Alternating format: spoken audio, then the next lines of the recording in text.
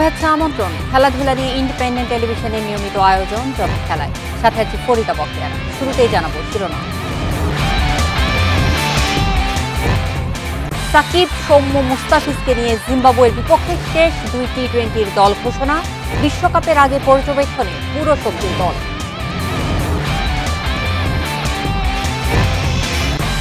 T twenty বিশ্বকাপের আগে অভিজ্ঞ ব্যাটারদের অফ ফর্মে টপ অর্ডারে ব্যাটিং দুশ্চিন্তা বাংলাদেশের। ভাবতে হচ্ছে ডেথ ওভার বোলিং নিয়েও।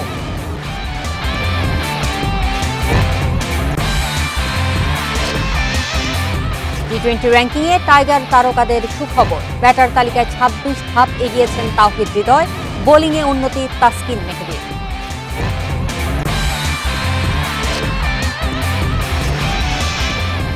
পিএসজির স্বপ্ন মারিয়ে চ্যাম্পিয়ন্স লিগের ফাইনালে বরসিয়া ডটমুন্ড রাতে দুই সাবেক চ্যাম্পিয়ন রিয়াল বায়ার্ন মহারণ।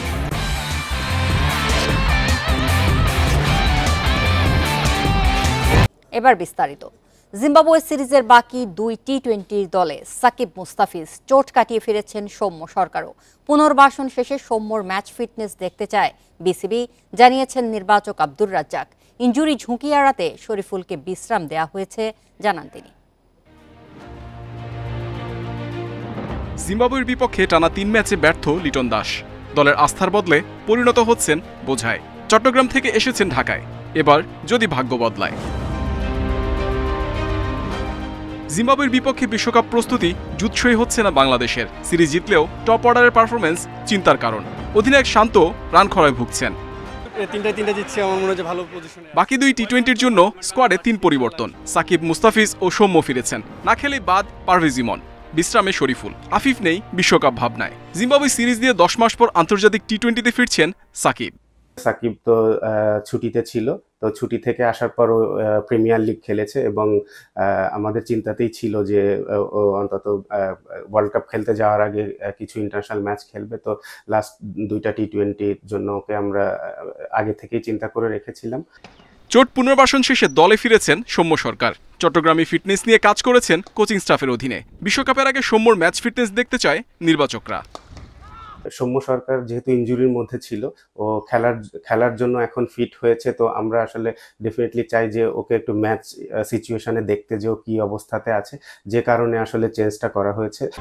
টানা ম্যাচের ধকল কাটাতে শরীফুলকে বিশ্রাম দিয়েছে বোর্ড। তার বদলে মুস্তাফিজ শেষ দুই টি টোয়েন্টি খেলে প্রস্তুতি সেরে নিতে চান। মুস্তাফিজের ব্যাপারটাও ঠিক একই রকম মুস্তাফিজ ইন্ডিয়া থেকে আসার পর ওকে আমরা চেয়েছিলাম যে ছোট্ট একটা রেস্ট দিতে তো সেটা আমরাও আহ, ওকে জিজ্ঞেস করেছিলাম যে আগে নিবে কি পরে নিবে তাও এগ্রি করেছে যে আগে নিয়ে তারপরে একবারে খেলে চলে যেতে চায়। মিরপুরে জিম্বাবুয়ের বিপক্ষে চতুর্থ টি টোয়েন্টি শুক্রবার।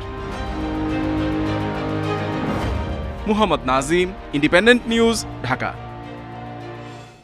Opener লিটনের মতো অধিনায়ক শান্তর ব্যাটেও বড় রান নেই। টি টোয়েন্টি বিশ্বকাপের আগে টপ অর্ডার নিয়ে চিন্তা ম্যানেজমেন্টের সেই সঙ্গে বরাবরের মতো ডেথ ওভার বোলিংয়েও নির্ভর থাকা যাচ্ছে না। মুস্তাফিজ সাইফুদ্দিনকে নিয়ে সে চ্যালেঞ্জ নিতে হবে বিশ্বকাপে। পাওয়ার প্লেতে দুই তিনটা উইকেট হারানো বাংলাদেশের পুরনো রোগ। ওপেনিং নিয়ে সমস্যা বয়ে বেড়াচ্ছে দীর্ঘ সময়। টি টোয়েন্টি বিশ্বকাপের আগে মূল চিন্তাও ওখানেই। লিটন ধুকছেন তানজিদ নবীন সদস্য। সৌম্য ইঞ্জুরির কারণে খেলার বাইরে ছিলেন। লিটনকে নিয়ে অতিরিক্ত আলোচনায় কিছুটা আড়ালে অধিনায়ক নাজমুল শান্ত। তার টি টোয়েন্টি পারফরমেন্স মোটেও সুবিধার নয়। জিম্বাবুয়ে সিরিজের প্রথম তিন ম্যাচে বোঝা গেছে তিনিও আত্মবিশ্বাসের অভাবে ভুগছেন।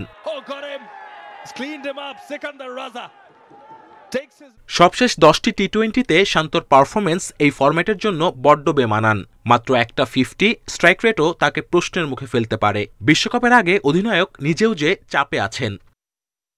এখন টি টোয়েন্টি হয় দুশো আড়াইশোর খেলা। বাংলাদেশ প্রস্তুতি সারছে তুলনামূলক মন্থর পিচে যেখানে বড় রান করা যেন কঠিন। বোলিং নিয়েও তাই নির্ভর হওয়ার উপায় নেই। গত ম্যাচে শেষ পাঁচ ওভারে দেখা গেছে ঘাটতি। সাইফুদ্দিন প্রত্যাবর্তনে রঙিন ঠিকই কিন্তু ডেথ ওভার বোলিংয়ে তার উপর কি নির্ভর করা যাবে? ইয়র্কার দিতে পারলেও আলগা বলজে থাকে। শেষ দিকের বোলিংয়ে মুস্তাফিজ এখনও আস্থার জায়গা।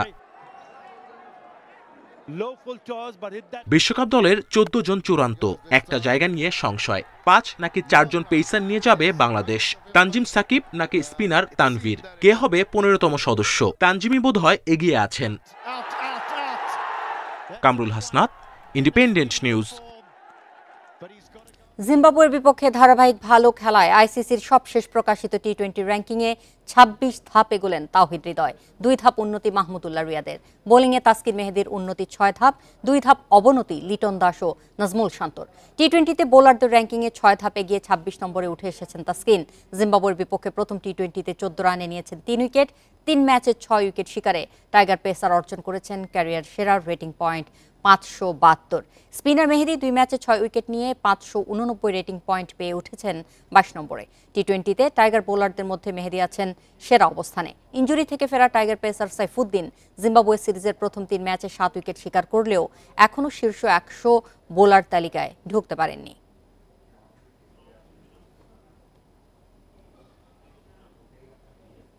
চ্যাম্পিয়ন্স লিগ সেমিফাইনালের দ্বিতীয় লেগে পিএসজিকে এক শূন্য গোলে হারিয়েছে বরসিয়া ডটমুন্ড উভয় লেগ মিলে দুই শূন্য ব্যবধানে এগিয়ে থাকায় তৃতীয়বারের মতো আসরের ফাইনালে উঠল জার্মান ক্লাবটি। এই হারে পিএসজির হয়ে এমবাপের চ্যাম্পিয়ন্স লিগ জয়ের স্বপ্ন অধরাই থেকে গেল।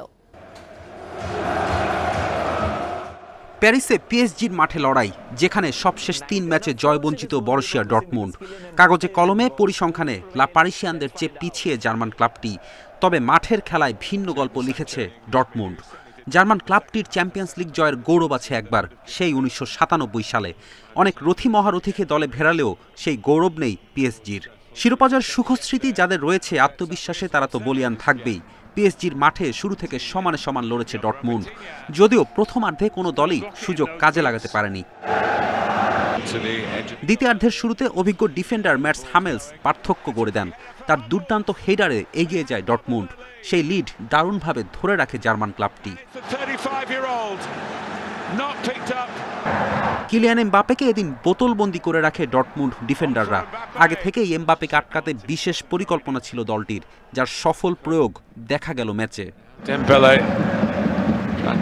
সুযোগ যে একেবারে আসেনি তা নয় সেই সুযোগ কাজে লাগাতে পারেনি পিএসজি একই সাথে ডটমুন্ডের ভাগ্য সুপ্রসন্ন ছিল। শেষ দিকে এমবাপে ও ভিতিনার শট গোলবারে লেগে ফিরে আসে। আমরা হতাশ। সর্বোচ্চ চেষ্টা করেও ব্যর্থ হয়েছি। তবে সব শেষ হয়ে যায়নি। সামনে ফ্রেঞ্চ কাপের ফাইনাল ওই ট্রফিটা জিততে চাই. আমি খুব খুশি ও গর্বিত। আমরা ক্লিন শিট বজায় রেখে পিএসজিকে হারিয়েছি। কিছুটা ভাগ্যের সহায়তা পেয়েছি। তবে যোগ্য দল হিসাবে ফাইনালে উঠেছি.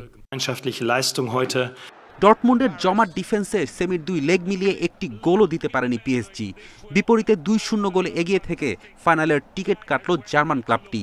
এগারো বছর পর স্বপ্নের ফাইনালে বরসিয়া ডটমুন্ড। শিরোপা লড়াইয়ের মঞ্চে চোদ্দ বারের চ্যাম্পিয়ন রিয়াল মাদ্রিদ কিংবা ছয় বারের চ্যাম্পিয়ন বায়ার্ন মিউনিখের মুখোমুখি হবে তারা। ডটমুন্ডের প্রবল আত্মবিশ্বাসী খেলায় পরিসংখ্যান মুখ থুবড়ে পড়তেই পারে। Ferdous Islam Independent News Champions লিগে রাতে রুদ্ধশ্বাস লড়াই। বার্নাবুতে সেমিফাইনালের দ্বিতীয় লেগে রিয়াল মাদ্রিদের চ্যালেঞ্জ নেবে বার্ন মিউনিক আলিয়েন্স অ্যারেনায় বাভারিয়ানদের রুখে দিয়ে দুই দুই গোলে ড্র করেছে আঞ্চলতির দল। রেকর্ড পনেরোতম শিরোপা জয়ের পথে এবার ঘরের মাঠে নামবে রিয়াল। সেমির লড়াই শুরু হবে রাত একটায়। চ্যাম্পিয়ন্স লিগে অল জার্মান ফাইনাল হবার সম্ভাবনা তৈরি হয়েছে। পিএসজিকে হারিয়ে বরসিয়া ডটমুন্ড এরই মধ্যে শিরোপা লড়াইয়ের মঞ্চে। বার্ন মিউনিক এবার রিয়াল মাদ্রিদকে রুখে দিতে পারলেই হলো। তবে চ্যাম্পিয়ন্স লিগের সফলতম দলের বিপক্ষে তাদেরই ঘরের মাঠ থেকে জয় ছিনিয়ে আনা সহজ হবে না। কাজটি অসাধ্য সাধন মনে হবে যখন জানবেন বার্নাবুতে সবশেষ সাত ম্যাচে জয় পায়নি বায়ার্ন হেরেছে ছয়টিতেই। তারপরও জার্মান ক্লাব আশাবাদী হ্যারিকেইনের দুর্দান্ত পারফরমেন্সে চলতি মৌসুমে চুয়াল্লিশ গোল এই ইংলিশ ফরওয়ার্ডের সময়ের সেরা এই স্ট্রাইকারের কখনও চ্যাম্পিয়ন্স লিগ জেতা হয়নি। বায়ার্নের হয়ে অধরা এই ট্রফি জিততে মরিয়া কেইন। ডিএফবি পোকাল বুন্দেসলিগা সব হারিয়েছে এবার বায়ার্ন মিউনিক চ্যাম্পিয়ন্স লিগ তাই পাখির চোখ টুখেলের দলের কাছে। ভিনিসিয়াস বেলিংহামের মতো কার্যকর ফুটবলার রয়েছে রিয়াল মাদ্রিদে। আমাদের খুব সতর্ক থাকতে হবে। জিততে হলে ভুল করা চলবে না। নিখুঁত ফুটবল খেলতে হবে। অন্যদিকে রেকর্ড ছত্রিশতম লালিগা জিতে আত্মবিশ্বাসের তুঙ্গে রিয়াল মাদ্রিদ। চ্যাম্পিয়ন্স লিগ জয়ের সর্বোচ্চ রেকর্ডও আরেক ধাপ বাড়িয়ে পনেরোতে নেয়া লক্ষ্য তাদের। কোচ কার্লো আঞ্চেলত্তিও মাইল ফলকের সামনে। কোচিং ক্যারিয়ারে রেকর্ড ষষ্ঠবার দলকে ফাইনালে তোলার হাতছানি। Creo que como club son parecidos. বায়ার্নের বিশাল ঐতিহ্য রয়েছে। ওরাও এই আসরে খুব সফল দল। ওদেরকে সমীহ করতেই হবে। প্রথম লেগে বায়ার্ন আমাদের চেয়ে ভালো খেলেছে।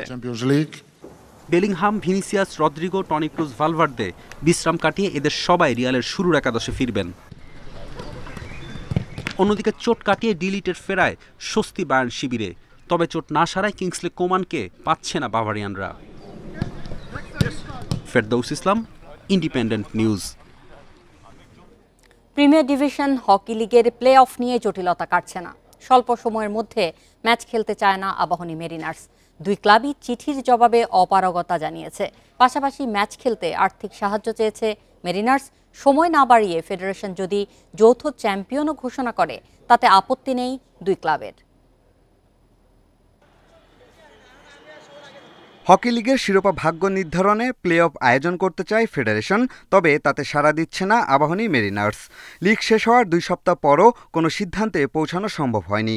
সমান সাঁত্রিশ পয়েন্ট নিয়ে লিগ শেষ করেছে দুই দল, তাই বাইলস অনুযায়ী হবে প্লে অফ দ্বিতীয় দফা আবাহনী মেরিনার্সকে চিঠি দিয়ে প্লে অফ খেলার আমন্ত্রণ জানিয়েছিল ফেডারেশন। বুধবার সেই চিঠির একই রকম জবাব দিয়েছে দুই ক্লাব। আর পুনরায় ম্যাচ খেলতে ফেডারেশনের কাছে দশ লাখ টাকার সহযোগিতাও চেয়েছে বর্তমান চ্যাম্পিয়ন মেরিনার্স। প্রস্তুতি ছাড়া খেলা যাবে না, এটার প্রস্তুতি নিতে হলে আমাদের বেশ কিছু অর্থের প্রয়োজন আছে। যেই অর্থটা আমাদের এত দ্রুততম সময়ের মধ্যে কালেকশন করা খুব কঠিন প্রায় অসম্ভব। তাই আমরা বলেছি যে আমাদের যদি দশ লাখ টাকা অনুদান দেওয়া হয় তাহলে আমাদের কাজটা করতে মানে খেলাটা খেলতে একটু সুবিধা হবে। তো আমরা যেহেতু এটা চ্যাম্পিয়নশিপ ম্যাচ আসলে এইভাবে প্রস্তুতিবিহীন তো মাঠের নামাটা আমাদের জন্য। আবহানী ক্লাবের জন্য সমীচীন মনে করি না আমি। দুই ক্লাব রাজি না থাকায় ফেডারেশনের বেঁধে দেওয়া তেরো মের মধ্যে হচ্ছে না প্লে অফ সেক্ষেত্রে সময় না বাড়িয়ে ফেডারেশন যৌথ চ্যাম্পিয়ন ঘোষণা দিলেও আপত্তি নেই আবাহনী মেরিনার্সের জয়েন্ট চ্যাম্পিয়ন হলে যে খুব একটা ভুল হবে, ওটাও কিন্তু ই না। এখন ফেডারেশনেরও অর্থের দরকার আছে, আমাদেরও অর্থের দরকার আছে সব কিছুর মধ্যেখানে সবাই মিলে একটা জায়গায় আসলে তো শেষ পর্যন্ত প্লে অফটাই দাঁড়ায়, জয়েন্ট চ্যাম্পিয়নটাই দাঁড়ায় আর কি। মীমাংসা যদি না হয়, ধরেন এই যে এখন একটা ডেট দিয়েছে ফেডারেশনের তো একটা বাধ্যকতা থেকে যায়, ঠিক না? তো তারা যদি ফেডারেশন যদি হকির স্বার্থে বা সব কিছুর স্বার্থে যে সিদ্ধান্ত নেবে আবাহনী ক্লাব সেটা মেনে নেবে। ফেডারেশন আরও একবার প্লে অফের সময় পেছায় নাকি চতুর্থবারের মতো লিগে যৌথ চ্যাম্পিয়ন ঘোষণা করে সেটাই দেখার বিষয়। Piyas Saha Independent News Dhaka. অবসর ঘোষণার তিন মাস পর আবারও জাতীয় দলে ফিরতে চান আর্চার রোমান সানা। গেল ফেব্রুয়ারিতে আর্থিক অনিশ্চয়তার যুক্তি দেখিয়ে আর্চারি ছাড়ার সিদ্ধান্ত নিয়েছিলেন তিনি।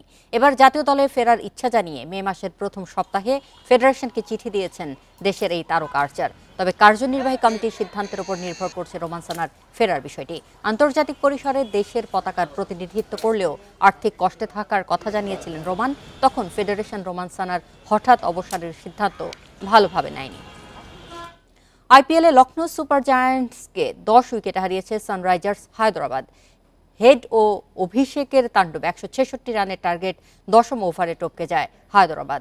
ডিকক স্টয়নিসের ব্যর্থতায় চাপে পড়ে লখনৌ। ছেষট্টি রানে চার উইকেট তুলে নেয় হায়দ্রাবাদ। এরপর আয়ুষ বাদানি ও নিকোলাস পুরানের ঝোড়ো ব্যাটিং দেয় লড়াইয়ের পুঁজি। বাদানি পঞ্চান্ন আর পুরান অপরাজিত থাকেন আটচল্লিশ রানে। এ ছিল আজকের যত খেলায়।